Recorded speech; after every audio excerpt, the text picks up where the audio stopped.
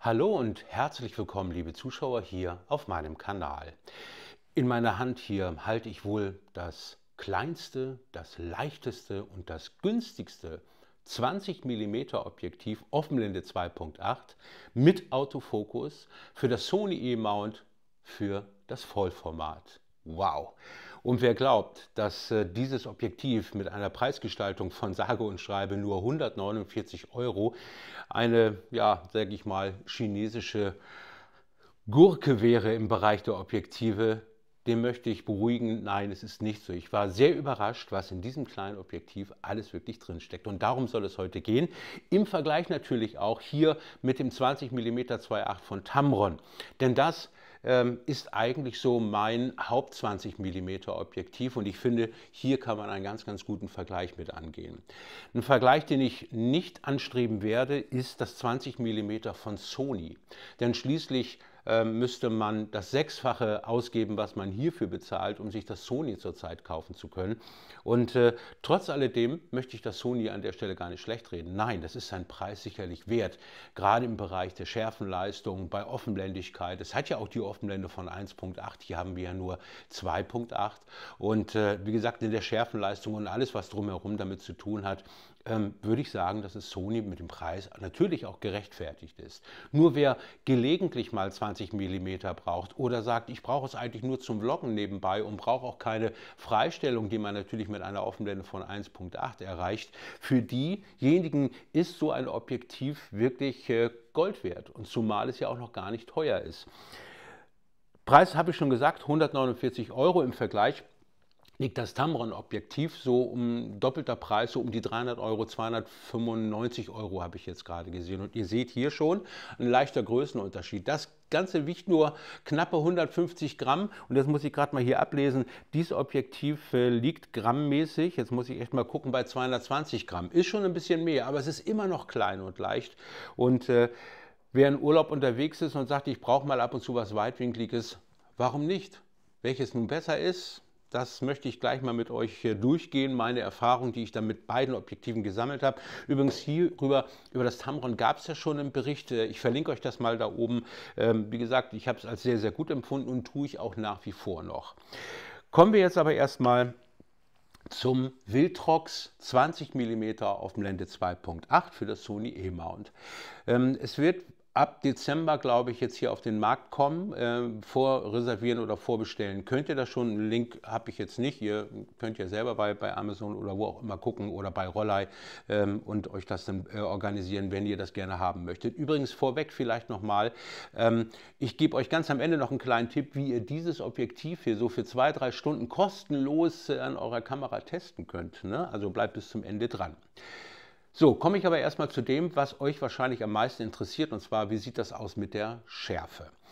Ähm, ich muss sagen, schon bei Offenblende 2.8 im Zentrum hat das Ding eine gute Schärfe und wird am Rand, ähm, ja, so ein bisschen, wie, wie heißt das so schön, so ein bisschen ghostig. Ich muss sagen, äh, haut einen nicht unbedingt um. Das Tamron liefert da so einen Hauch besser ab.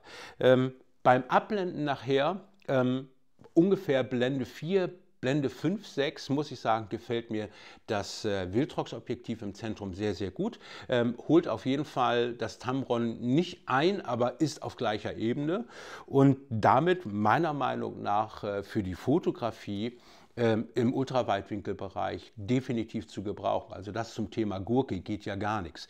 Nun, ich weiß nicht, bei diesen ganz günstig hergestellten Objektiven kann es sein, ähm, ja, so eine Art Streuwirkung oder ich weiß jetzt nicht, wie man das genau nennt, aber dass vielleicht mal ein dezentriertes dabei ist. Das kenne ich zum Beispiel noch von den Samyang-Objektiven, dass es mal gelegentlich vorkommt. Aber wenn es vorkommt ähm, und ihr das vielleicht bei Roller gekauft habt, dann schickt ihr das wieder ein und kriegt dann ein Objektiv zurück, was dann fehlerfrei ist. Chromatische Apparation ist ja auch immer so ein Thema. Da kenne ich so manche Samyang-Objektive, die ähm, ja mehr lila-grünliche Farbsäume bilden. Das haben die hier wirklich sehr, sehr gut weggearbeitet. Was mir allerdings aufgefallen ist, von der Verzeichnung her, das Tamron ist ein bisschen runder von der Verzeichnung her. Hier ist es schon ein bisschen was wegkorrigiert, kann sein, weil ich hier das neueste Update auch draufgezogen habe. Ähm, das Objektiv in der Preislage, könnt ihr euch vorstellen, ist natürlich nicht Spritzwasser- oder Staubgeschützt. Ähm, unvorstellbar. Es geht auch nicht. Wir haben aber trotzdem die Möglichkeit, hier hinten ist ja immer der Anschluss äh, hier USB Typ C, sich die Updates draufzuziehen. Wie gesagt, das hatte ich ja auch schon gleich dann erledigt. Die sind ja bei Wildtrox immer relativ schnell am Start, um äh, ja, die Nutzer dieser Wildtrox-Objektive dann auch wirklich äh, zufriedenzustellen oder wenn es Verbesserungen gibt, dass sie natürlich da gleich eingreifen können.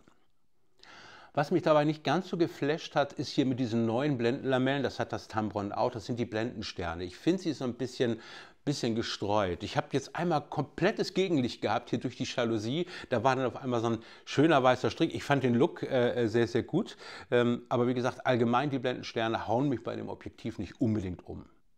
Eine Naheinstellungsgrenze von 19 cm ist jetzt nicht unbedingt makrotauglich, aber ich habe das jetzt einmal an meine Sony ZVE10, also eine Kamera mit APS-C-Sensor geschraubt und habe da in Afrika so, ein, so, eine schöne rote Libelle erwischt. Und ich muss sagen, es ist zwar kein echtes Makro und ich habe auch noch ein bisschen ins Bild reingekroppt, aber so im Allgemeinen muss ich sagen, für die Blümchenfotografie ist es auf jeden Fall noch ausreichend. Das Tamron hingegen hat eine Naheinstellungsgrenze von 11 cm vom Sensor aus gesehen und hat hier einen Abbildungsmaßstab von 1 zu 2. Also das Tamron kann man schon fast als, äh, als Makro dann auf jeden Fall gebrauchen. Der Autofokus, wobei da lege ich bei 20 mm jetzt nicht so einen ganz so großen Wert drauf, äh, funktioniert soweit okay. Er ist nicht der schnellste, aber den erwarte ich ja auch nicht. Und mir hat es auf jeden Fall gereicht, denn dieses 20 mm Objektiv benutze ich auch gerne und das war auch mein letzter Beitrag, wo ich euch Fotofans Event vorgestellt habe. Das habe ich hier mit dem 20 mm gefilmt und äh, auch wenn ich mal ein bisschen näher rangehe und weiter nach hinten gehe, das funktioniert ganz gut. Was mir allerdings aufgefallen ist, ist dieses Fokus Briefing oder Fokus Atmen. Wenn man jetzt extrem mit dem Fokus arbeiten möchte, das heißt, ich halte die Hand davor äh, und gehe mit der Hand wieder weg, dann sieht man man auf einmal, dass hier ähm, in den Linsengruppen äh, Sachen bewegt werden, die so ein bisschen den Bildausschnitt verändern. Und äh, das ist hier doch ausgeprägt. Wobei der Autofokus an sich äh, auch relativ lautlos ist, den, den, hörst du kaum. Das ist hier bei dem Tamron-Objektiv ähm, sehr, sehr ausgeprägt. Also diejenigen, die am Vloggen sind und vielleicht ein Mikrofon äh, direkt auf die Kamera schrauben, mit dem Tambron ist es fast auszuschließen, weil diese Geräusche von dem, die Autofokusgeräusche von dem Tambron wie gesagt, doch sehr, sehr laut sind. Stört mich persönlich nicht, weil ich hier entweder mit einem Aufnahmegerät äh, arbeite oder halt auch mit einem Lavalier-Mikrofon. Was mir allerdings im Verhältnis zum Tamron auch wieder aufgefallen ist, ist der Bildausschnitt. Wir haben zweimal 20 mm, aber hier beim Tamron habe ich so ein 2 mm gefühlt äh, mehr Bildwinkel als hier. Ich weiß nicht, ob das benutzt wird, weil intern schon Korrekturen vorgenommen werden und deswegen geht ein bisschen Bildausschnitt äh, flöten. Ähm, aber 20 mm scheint eben nicht immer genau 20 mm zu sein. Trotzdem, der Bildwinkel, Ultraweitwinkel reicht in meinem Verhältnis komplett aus ein Thema, was eigentlich bei 20 mm meiner Meinung nach unwichtig ist.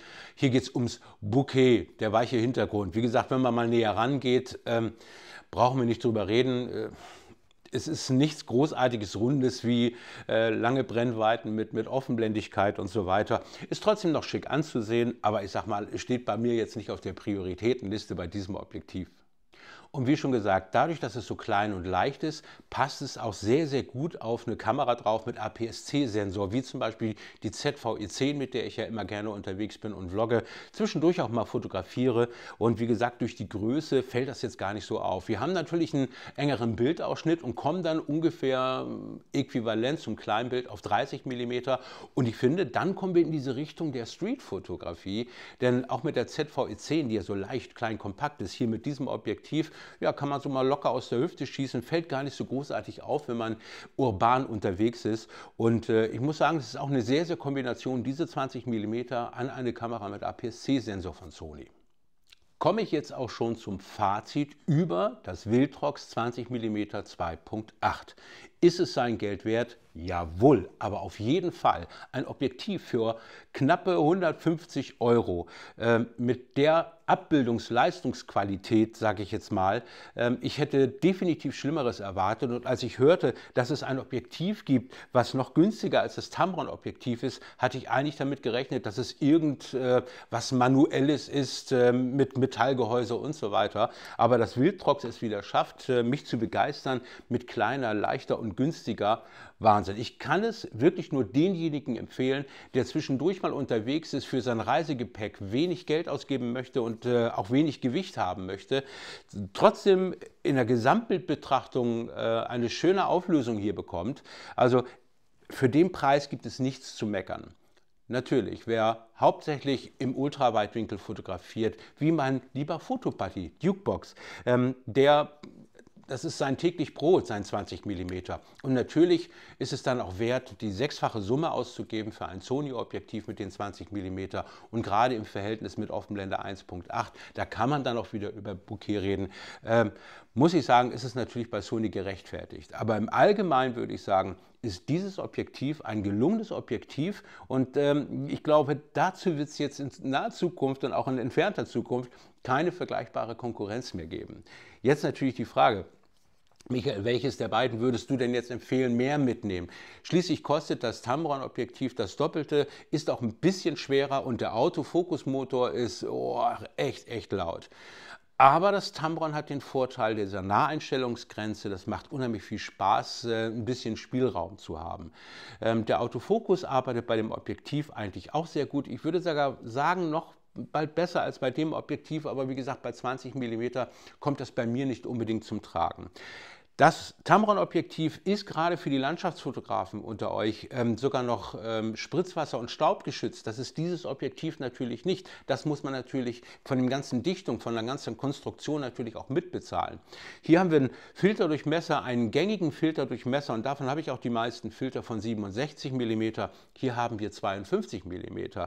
Und äh, mich jetzt entscheiden zu müssen, ja, nein, vielleicht. Ich finde sie beide tolle Objektive, aber wer jetzt davor steht und sagt, ich brauche gelegentlich mal ein Objektiv, den kann ich, wie gesagt, das Wildrox auf jeden Fall empfehlen, obwohl ich das Tamron nach wie vor weiter benutzen werde. So, das soll mein Beitrag gewesen sein hier über das Wildrox 20 mm 2.8. Und jetzt zum Schluss nochmal eben, wann und wie könnt ihr das testen?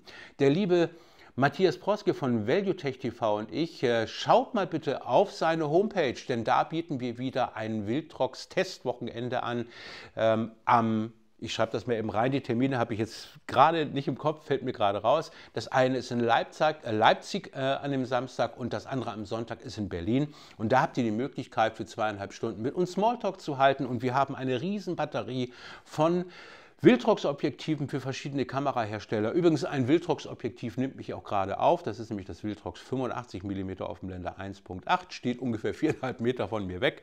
Nur, dass ihr auch schon mal ein Bild davon habt, was Wildrox ist imstande zu leisten. Also, da können wir uns kennenlernen. Das ist auch nicht das letzte Mal, dieses Jahr schon, aber im nächsten Jahr planen wir mit diesen Wildrox-Events natürlich auch noch Städte wie Stuttgart und München, Düsseldorf und Frankfurt und Hannover und Hamburg. Und wie gesagt, dazu geht doch bitte auf die Seite von ValueTech TV und äh, da steht alles weitere drin. Das Ganze ist kostenlos und ihr habt wie gesagt die Möglichkeit, ganz, ganz viele Wildrox-Objektive für euch zu testen. Und natürlich ist hier das 20 mm auch mit dabei.